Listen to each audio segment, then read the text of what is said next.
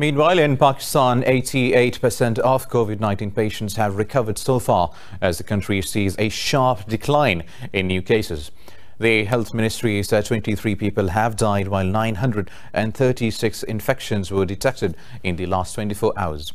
The ministry said the countrywide death toll has risen to nearly 6,000 with over 275,000 confirmed cases.